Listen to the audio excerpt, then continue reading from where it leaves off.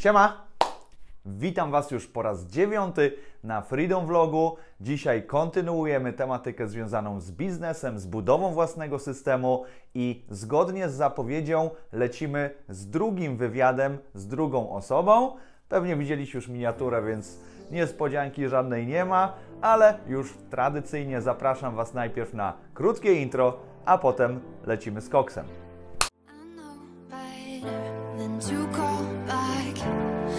Missed your call. I finally think I'm fine with that.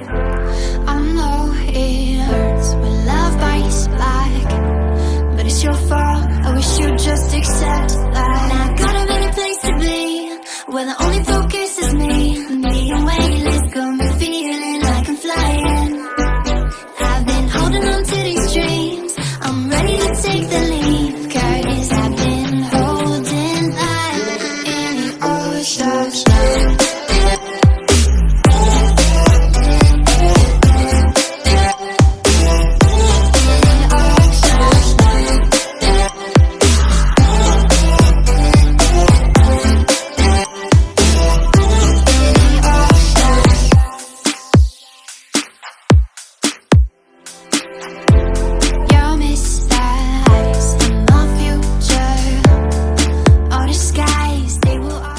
Cześć i witam Was w dziewiątym odcinku Freedom Vloga. Vlogu, na którym mówię o tym, czym jest wolność i jak do niej dążyć. Ostatnie trzy odcinki... No i widzisz, tak się dzieje. Bywa po prostu. Tak. W ostatnich trzech odcinkach przedstawiłem Wam postać mojego serdecznego przyjaciela Bartka Hadyńskiego, który współtworzy e, jedną z najlepszych firm windykacyjnych we Wrocławiu. A dzisiaj i nie tylko, bo w kolejnych częściach również, mamy gościa numer dwa. Gościa, o którym Bartek wspominał w swoim wywiadzie. I jest to nie kto inny jak Blanka, wspólniczka Bartka, która również dzisiaj z nami podzieli się swoją historią, swoim doświadczeniem i swoimi radami. Cześć Blanka. Cześć Misiu! Czy ma być bardziej oficjalnie? Jak wolisz, naprawdę jak wolisz. Cieszę się bardzo, że zgodziłaś się na, na ten wywiad, no bo jednak byłaś taką brakującą cząsteczką w tych opowieściach Hadzia. E, więc chciałbym też poznać tę historię z obu stron, ale zanim w ogóle przejdziemy do tego tematu, chciałbym zacząć od takiego podstawowego pytania. Ja Cię znam oczywiście, nasi widzowie jeszcze nie, więc pytanie numer jeden brzmi: kim Ty w ogóle jesteś, skąd Ty się tutaj wzięłaś i skąd pochodzisz, może ile masz lat? Takie podstawowe informacje na swój temat. Słuchaj, no ty mi powiedz, kim jestem. To jest najtrudniejsze pytanie. To jest najtrudniejsze pytanie, naprawdę. Hmm, kim jestem? No, odpowiedź jestem człowiekiem, już została wykorzystana, więc no wiadomo, e, tego, tego wam nie powiem. Kim ja jestem? Nie wiem, ciężko mi powiedzieć, naprawdę. Może zacznę od tego, skąd jestem i ile mam lat i takie, takie podstawowe bzdury. Mam 26 lat, nazywam się Blanka. Rodzinka nam się trafiła. tak, tak jakoś wyszło. E, Generalnie jestem stąd i z okolic w zasadzie, bo większą część życia mieszkam tutaj we Wrocławiu. Tam, jak, jak mam jakieś takie e, starsze już wspomnienia, no to wiąże je z Wrocławiem. Jak byłam młodsza, mieszkałam e, z rodzicami w brzegu. To jest jakieś nie wiem, 40 km stąd, coś, coś koło tego. Tam też początkowo chodziłam do szkoły, uczyłam się i tak dalej, później jednak postawiłam na ten Wrocław, nie? Okej, a skąd y, taka decyzja, żeby wybrać Wrocław? No bo tak, no bo większe miasto, większe możliwości. Ja generalnie już e, gdzieś tam w szkole podstawowej wiedziałam, że jak będę szła do tego liceum, to będę szła do liceum we Wrocławiu, no bo jednak no daje to gdzieś tam większe możliwości. Wtedy jeszcze miałam takie przeświadczenie, że e, trzeba mieć super studia, skończone super liceum, tak, czyli wszystko, wszystko to, co nam gdzieś tam wbijali do głowy od, e, od małego. E, więc zawsze wiedziałam, że no, żeby się rozwijać, no trzeba iść gdzieś tam dalej, a niestety mniejsze miejscowości nie dają takich możliwości jak duże miasto, tak? Nie, no, no nie jesteśmy w stanie się w ten sposób rozwijać, co, co w większym mieście, nie? Okej, super. A powiedz mi, bo y, działalnością waszą, do której później przejdziemy, zajmujesz się od kiedy? O Jezu, od trzech lat. Trzy lata. A czym się zajmowałaś wcześniej? No bo jesteś młoda, więc to jest w ogóle fenomen, że ludzie w takim wieku są w stanie osiągać sukcesy w biznesie. Słuchaj, ale ja też szybko zaczęłam. Ja szybko zaczęłam, ja zaczęłam w zasadzie pracować w wieku 17 lat, bo gdzieś tam jakoś tak się potoczyło, zresztą znamy się, tam się poznaliśmy, jak byłam jeszcze gówniarą. E, czym się zajmowałam wcześniej? W zasadzie od samego początku za- zajmowałam się sprzedażą, tak? Mnie ominęła gdzieś ta cała fizyczna praca, rozdawanie ulotek, jakieś wyjazdy za granicę i tak dalej. Od samego początku w zasadzie pracowałam na słuchawce, na sprzedaży, e, gdzie wiesz, na samym początku, jak szłam na tę słuchawkę, to wszyscy opowiadali, nie, no gdzie tam taka beznadziejna praca, można zarabiać tylko grosze i tak dalej. I faktycznie na początku tak było, tak? No ale okazuje się, że jednak daje to o wiele większe możliwości, niż może się wydawać, nie? Czyli ty tak samo jak ja zaczynałaś swoją karierę od tego, że przepraszam, że to powiem, zawodowo wkurwiałaś ludzi. Tak, dokładnie i robię to do dzisiaj. Super. E, I powiedz mi, na, na tej słuchawce spędziłaś całą swoją etatową karierę, czy jeszcze czymś innym się zajmowałaś? Cała moja etatowa kariera to w zasadzie była słuchawka.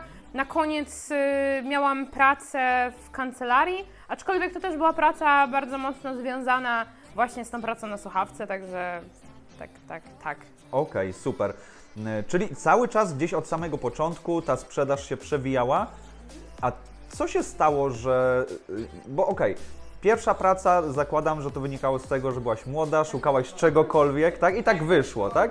A z czego wynikało to, że później zdecydowałaś się jednak pozostać przy tej sprzedaży? Wiesz co, ja uważam, że mm, jakby mylne jest to, co ludzie mówią na temat tej pracy na słuchawce, bo jest takie przeświadczenie, że praca na słuchawce to jest taki student w call center, tak, małe pieniądze, e, 7 zł kiedyś za godzinę i tak dalej. E, Brutto, dokładnie, o Jezu, jak się za to żyło. To jest trochę mylne przeświadczenie, bo praca na słuchawce to jest praca, gdzie masz w zasadzie no pełną, pełną kontrolę nad swoim wynagrodzeniem, tak? To, to jest praca, gdzie rzeczywiście pracujesz sam na siebie, nie masz tego sufitu i ile tak naprawdę zrobisz, tyle zarobisz. I to jest coś, co mnie popchało do tego, żeby pójść do kolejnej firmy, która daje większe możliwości, jeżeli chodzi właśnie o, o te no, możliwości finansowe, tak? A nadal mam ja kontrolę nad tym, jakie wynagrodzenie sobie wypracuję, nie? Więc czy sprzedaż lubię, czy mi się podobała? Tak, generalnie to lubię, tak? To jest super fan, jak się tym bawisz, to, to jest super. Ale no też chodziło gdzieś tam o ten aspekt finansowy, nie? To jest jednak yy, no branża, tak? Rodzaj pracy, yy, w której możesz faktycznie sporo zarobić, nie? Okej, a powiedz mi, bo też o to pytałem Bartka, e, kiedy rozmawiałem z nim i zakładam, że u Ciebie odpowiedź może być inna, bo Bartek był specjalistą w obszarze windykacji, tak? W tym, w tym się wyspecjalizował pracując na etacie, gdzieś tam też to powiązał w jakiś sposób ze swoimi studiami prawniczymi, o czym, o czym opowiadał. E, Pytanie do Ciebie, dlaczego Ty stwierdziłaś, że już jednak nie chcesz robić tego na etacie, zajmować się tą sprzedażą, tylko chcesz zacząć to robić na własny rachunek. Skąd taka decyzja w ogóle? Słuchaj, szczerze, totalnie przypadkiem. Naprawdę, totalnie przypadkiem. E, To znaczy tak, jeżeli ogólnie chodzi o branżę windykacyjną, to jakby windykacja, gdzieś tam te aspekty prawne i tak dalej, to było coś, co mi no, towarzyszyło przez większość kariery. Ja jak pracowałam w, w firmie właśnie na, na tej słuchawce, pracowałam w firmie, która no stricte zajmowała się gdzieś tam właśnie tą windykacją, tak, i gdzieś tam tematami powiązanymi.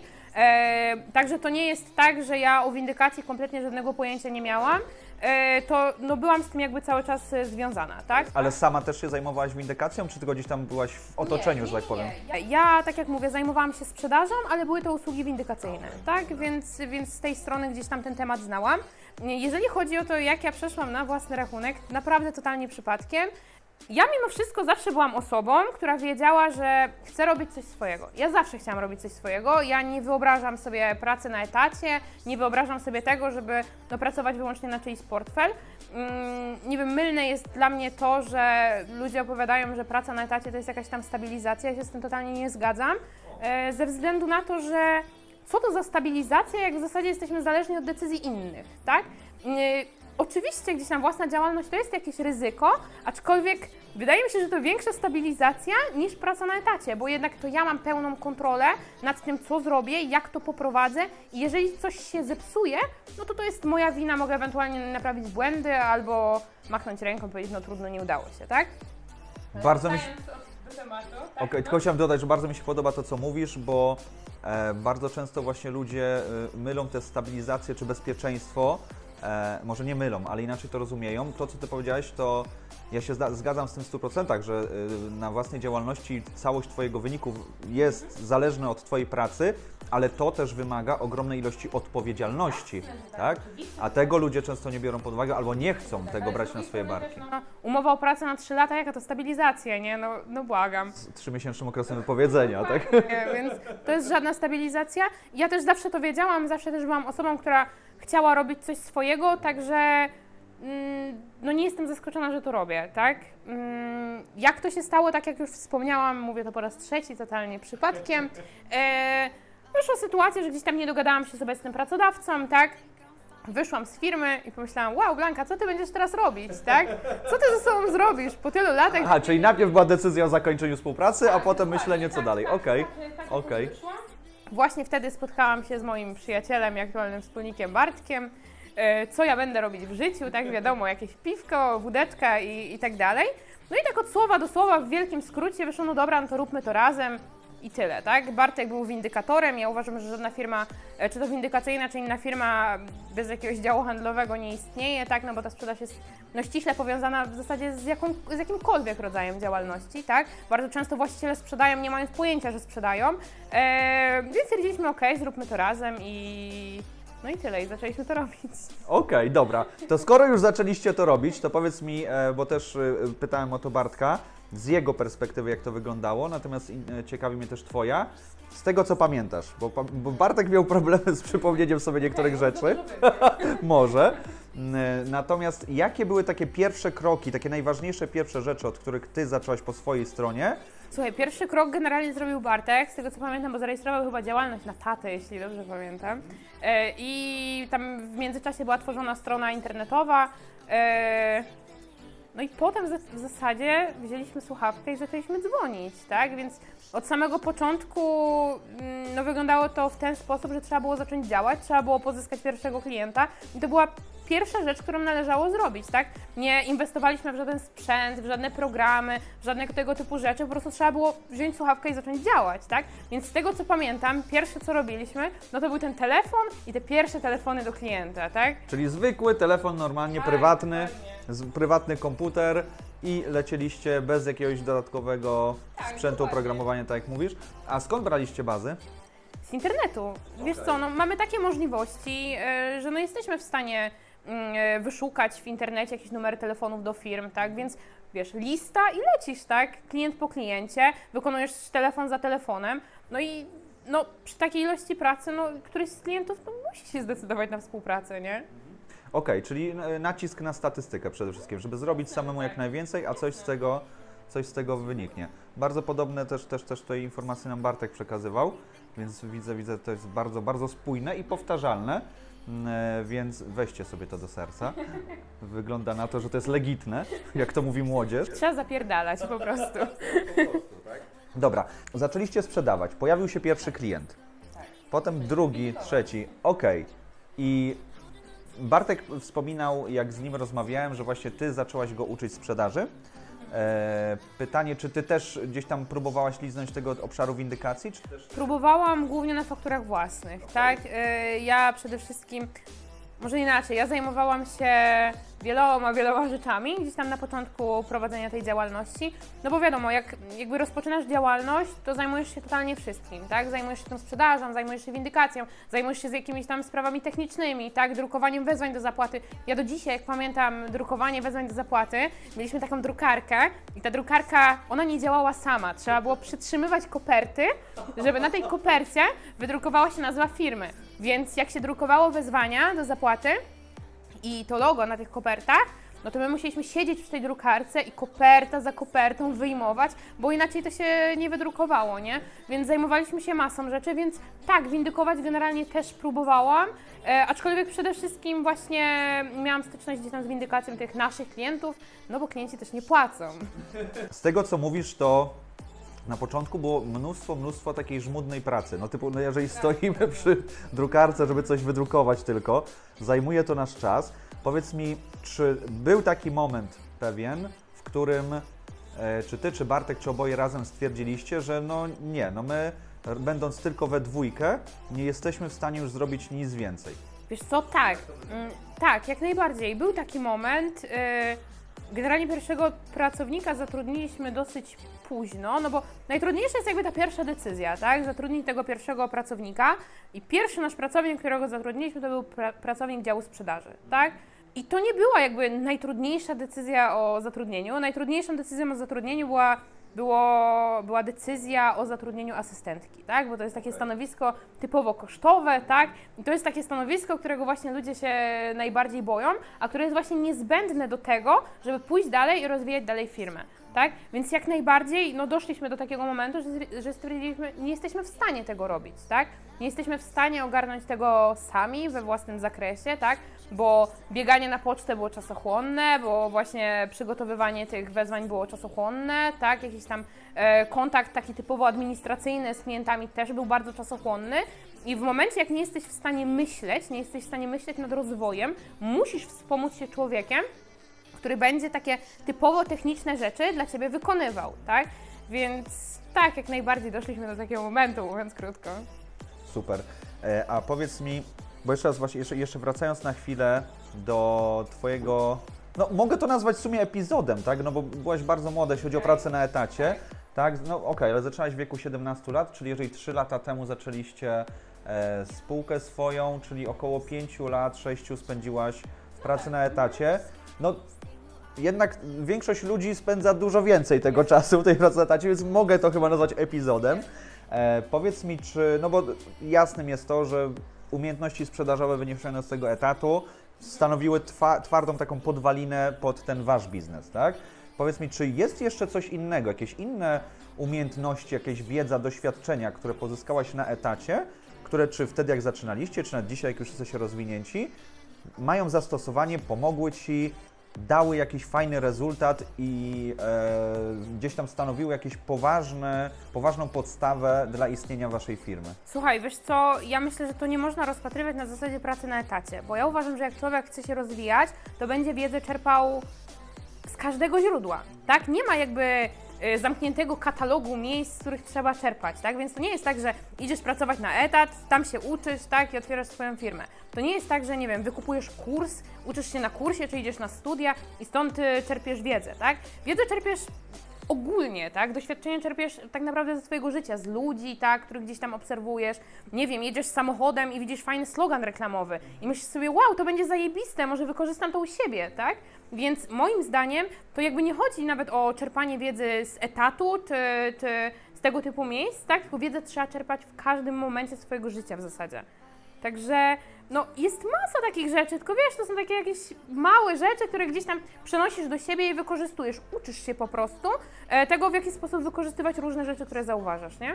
To jest super, co Ty mówisz i bardzo często też się spotykam na przykład z ludźmi, którzy podkreślają, że no fajnie, że oni by chcieli się rozwijać, edukować i tak dalej, ale to wszystko kosztuje. Słuchaj, no jest YouTube, naprawdę, jedziesz do tego domu, włączasz YouTube'a, oglądasz jakiś ciekawy film, tak, i już wiesz coś więcej, tak? Może nie wniesiesz tego, nie wiem, do swojego biznesu, tak? Ale jesteś bogatszym człowiekiem, tak? Więc, no wiedzę moim zdaniem trzeba czerpać ze wszystkiego, tak? Z każdego człowieka, e, z każdej okoliczności, z każdej sytuacji, która Cię w zasadzie spotyka i to jest właśnie ten rozwój, nie? Super, że o tym wspomniałeś właśnie, bo do tego zmierzałem w sumie. E, chciałem Cię spytać, czy, czy, czy e, byłabyś w stanie polecić naszym widzom sposoby właśnie na rozwój bezkosztowo? No słuchaj, YouTube, naprawdę, YouTube jest świetną, e, świetną opcją, żeby faktycznie się rozwijać. Znajdziesz tam wszystko, dosłownie wszystko. Mówię, nie potrzebujesz płatnych kursów. Zakładam, że z tego YouTube'a nauczysz się więcej niż jak pójdziesz na taki płatny kurs, naprawdę. E, ja tak jak już na samym początku mówiłam, że gdzieś tam wpajano nam, że trzeba iść na studia, tak, zrobić studia i po studiach jesteś specjalistą, tak? No to jest jedna wielka bzdura. Nie potrzebujesz inwestować własnych pieniędzy w to, żeby się uczyć, tak? Tak jak mówię, pomyśl, co Cię interesuje, pomyśl, w jakim zakresie chcesz się rozwijać, wpisz to w internet i czytaj, tak? Oglądaj, czytaj, czytaj o ludziach, czytaj o tym, co zrobili, tak? W jaki sposób. I to jest jakby metoda rozwoju. Takie proste. Takie proste, nie? A takie trudne. Ogólnie tak zauważyłem, że bardzo często my jako gatunek ludzki Mamy taką dziwną tendencję do komplikowania sobie prostych spraw. Jak najbardziej. Jak pracowałam właśnie na etacie, to nam taki jeden człowiek właśnie mówił, że trzeba szukać rozwiązań, nie problemów, nie? I naprawdę do dzisiaj e, powtarzam to ludziom, bo uważam, że to jest naprawdę super ważne, tak? Żeby szukać rozwiązań, nie problemów. A mamy tendencję do tego, żeby tych problemów szukać, tak? Ja sama czasem to robię. Jak każdy, tak? Ważne jest to, żeby być tego świadomym i w miarę możliwości się pilnować, tak? Super. E, ja na chwilkę e, skoczę na krótką przerwę, bo no Blanka jest kobietą, więc jest kulturalna. Dobra, to tyle na dzisiaj i już teraz zapraszam Was na odcinek w przyszłym tygodniu, w którym będziemy kontynuowali rozmowę z Blanką. Natomiast za dwa tygodnie spotkamy się z nią w zupełnie innej scenerii. Ale to niespodzianka. Dlatego gorąco zachęcam, jeżeli podobają Wam się te treści, które udostępniam, jeżeli wyciągacie z nich dla siebie jakąkolwiek wartość, abyście zasubskrybowali mój kanał, aby zawsze być na bieżąco ze wszystkimi nowymi materiałami. Na dzisiaj dzięki wielkie, trzymajcie się ciepło i pamiętajcie, bądźcie wolni.